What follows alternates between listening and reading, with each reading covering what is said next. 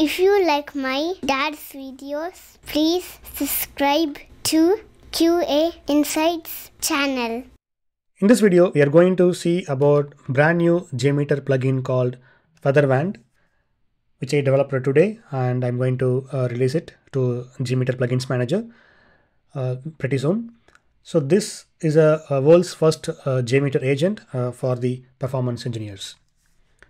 So this Feather Wand will help you to interact with the AI model, uh, particularly Claude and its models, where you can ask questions about uh, JMeter, uh, and also it will help you to uh, optimize your test plan and troubleshoot, and uh, you can uh, uh, improve your uh, JMeter test plan productivity pretty much very fast.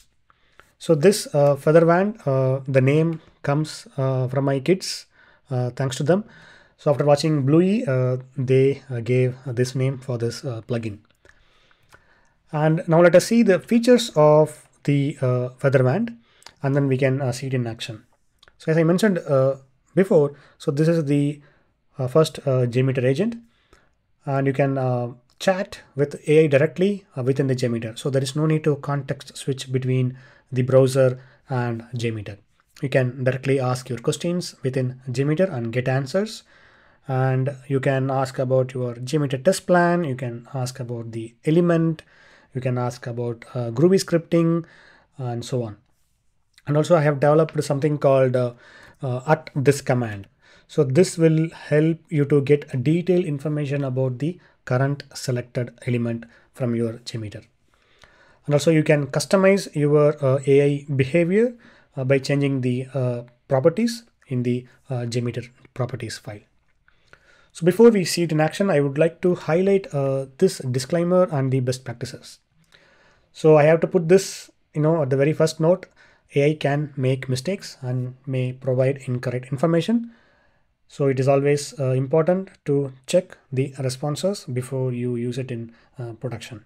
And also always take a backup of your test plan uh, because sometimes it may add the element in not in the right place you know that will uh, uh, not validate the test plan uh, properly. So you may face issues while running in the uh, production. So always uh, take a, a, backup of your test plan so that you can compare uh, between the AI generated one and with yours. And also verify the element and its order. So it is very important. Sometimes as I said it may add in the not appropriate place. I have embedded some basic checks but it's not you know uh, fully uh, bulletproof. So please uh, verify your test plan and its order.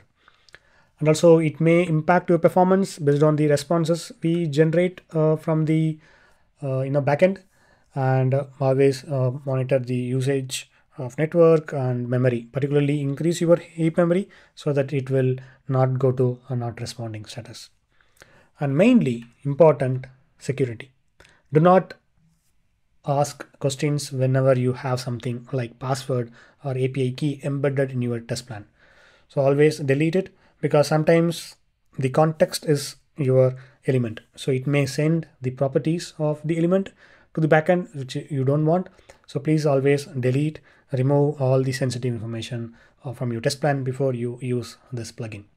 I'm not responsible uh, for any such uh, you know damage and also API costs. Again, you need to put some guardrails on your Anthropic account, multiple guardrails, and uh, because sometimes the tokens may exceed the actual usage, sometimes it's very less.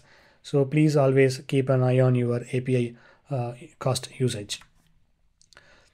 Okay, now next uh, let us see about the configuration. So if you go to the uh, JMeter AI sample properties, so here, as you see, these are some of the properties you may need to configure, mainly the API key and rest all are, you know, kind of optional, but recommended is to follow this structure. So you can uh, change the model, but default model to use. For example, you can uh, use the uh, 3 sonnet, but I prefer 3.5 or 3.7 for the improved accuracy. And also the temperature and the history size. Again, this history size, keep it you know at least uh, between 5 to 10 uh, don't keep like 100 you know sometimes uh, it may crash or it will use more cost for you. So always play around between 5 and 10 so that it will know the context not too much not less. It is relevant for your uh, conversation history. Whenever you face some issues always start a new conversation and start over. And also the uh, system prompt. So this is very important so this system prompt i focused on jmeter. Uh, do not change this uh, prompt. You can change uh, but it is not recommended. For example if you ask something related to python uh, it may not uh, respond because the prompt is telling focus on jmeter and its related you know aspects. If you ask something irrelevant it will not ask it will not uh, respond. So if you want to you know change the behavior of course you can edit and restart jmeter it will respond but I do not recommend it. So it's a pretty much, uh, you know, very elaborated, uh, you know, prompt. But again, you can also edit this based on your uh, requirement. Now let us go back and let us uh, check other uh, aspects of this plugin. So as you see here, uh, there are special plugins I embedded. So one is at this command. So this command will help you to know more about the current selected element. You can ask more about uh, why it is being used how you can optimize and best practices and so on. So this will help you to improve uh, further. So you will take your uh, productivity to the uh, next level. So these are the few things you need to keep in mind before you start using this uh, plugin. So how to use this plugin? So go to uh, releases and download this jar and keep it in your uh, library slash ext folder and restart your JMeter. Main thing is you have to fill the API key uh, in the properties and make sure it is in your JMeter.properties or user.properties and place this jar and restart your JMeter. So this is how you use uh, this uh, JMeter plugin to improve your productivity. Now let us see it in action. So after downloading the Feather Wand jar file, please place it in the library slash ext folder under your JMeter and fill the jmeter.properties with the right values, API key importantly, and restart your JMeter. Once the restart is done, you can see in the toolbar the uh, toggle AI chat panel button. So you just uh, click right side, you can get the new pane called Feather Wand JMeter agent, and you can also resize this particular pane towards left and right and also you can uh, collapse this pane and also you can uh, expand this pane so after you've done you know uh, installing and everything first thing you need to open this particular view results tree. So here as you see it is populating the logs which will help you to debug in case uh, if there any error occurs. So this also will display some important logs regarding the model token etc we are going to see it now. Um, let me clear this particular log and this particular pane is very self-explanatory. At the top right, you can see the plus button where you can start the new conversation. And at the bottom left, you can see the drop down, which will list out the all the active models of Claude. So choose the model you want to use for the particular message. Uh, you can choose between multiple models. So I prefer to choose uh, either 3.5 Sonnet or 3.7 Sonnet. So once you select, you can see the appropriate logs and here you will have a input box and also there is a send button. So now let me start with very simple you know hello world kind of a thing. So hello how can you help me? And hit enter. So this will send this particular intent to the backend and then it will process the request and then it will get back the response.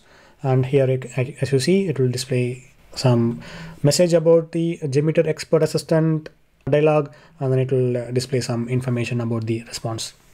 So here you can ask about some sample questions and you can uh, ask about your JMeter test plan and so on, which we are going to see it right now.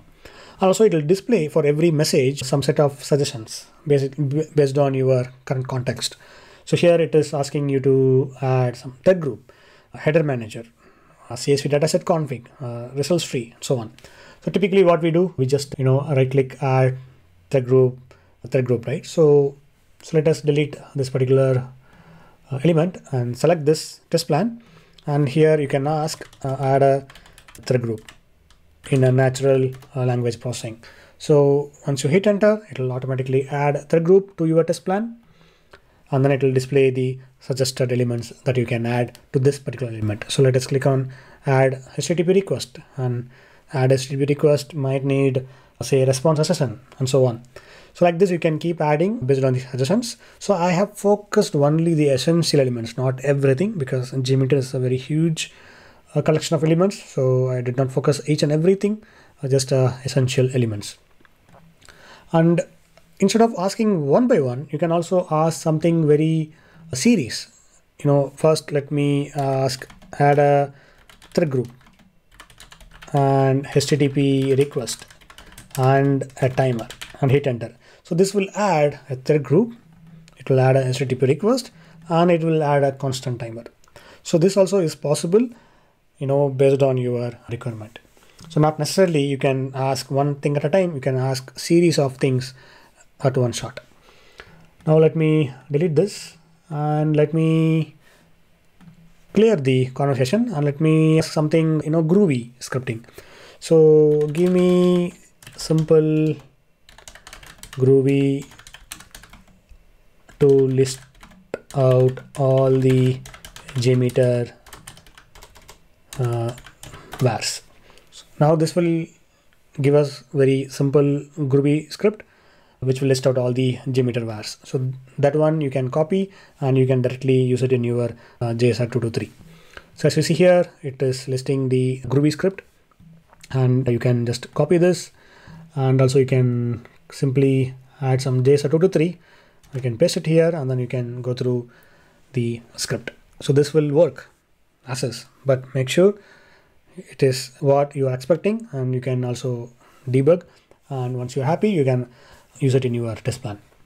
So this is how you can use the JMeter agent very quickly without context switching. Otherwise you have to go to browser ask copy paste here run but everything embedded within uh, JMeter Okay, now let me explain about something about uh, at this command. So you can select some element, for example, HTTP request, and you can ask at this, tell me about this element. So this will give us the information about the HTTP request, what it will do, how you can use it, and so on. So this will be very helpful if we, in case we want to know more details about the particular element. Of course, we have the help, but you can ask AI to summarize that particular node. So this is also very, very helpful for people who are very new to JMeter. So you can ask, say, for example, let me add something JSON extractor. So you can ask uh, at this, can you uh, give me the JSON path extractor to extract the root element.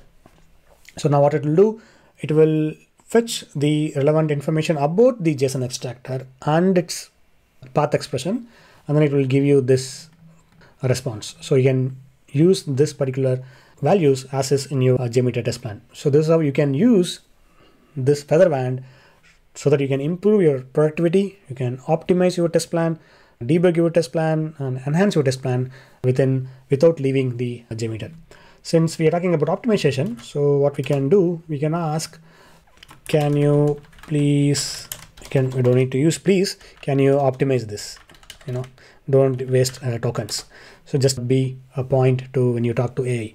So can you optimize? So this will think and then it will display the relevant context about the JMeter test plan and then it will display the you know message so right now it is giving uh, key optimizations, simplified expression. So because we selected the particular uh, you know element, the test plan have has this context. That's why it is giving this output. So like this, you can play around with this agent and you can also let me know if you face any issues, raise defects. Definitely this is not the best yet. There's a lot of room to improve, but it somehow it will help you uh, in your JMeter productivity. So please uh, try this and let me know uh, if you have, if you need any particular feature you want to uh, immediately implement. I will try to do that as soon as possible. So thanks for watching and have a great day. Thank you. If you like my dad's videos, please subscribe to QA Insights channel.